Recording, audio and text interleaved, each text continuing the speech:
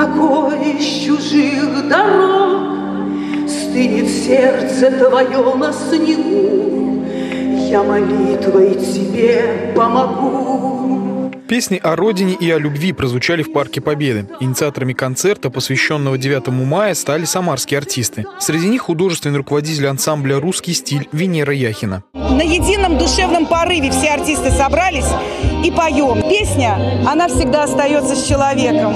Это самое главное. Песня всегда она ближе всех к народу. Самарцы наслаждались песнями, прозой и стихами три часа. На сцену вышло более 30 творческих коллективов. Выступали также артисты филармонии, театра оперы и балета.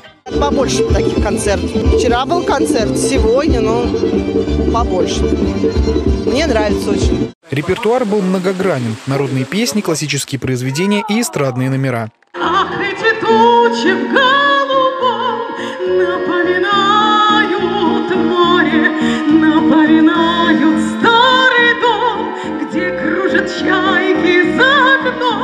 Андрей Горгуленко, Сергей Кизоркин, Максим Гусев. События.